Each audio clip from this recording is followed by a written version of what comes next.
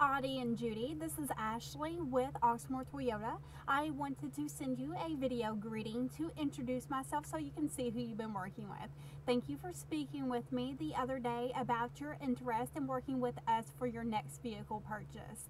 I sent you an email with links to some vehicles that might interest you. Please let me know if you have any questions. You can give me a call at 502 214 7085 or reply to this email. I look forward to working with you. Thanks. Bye.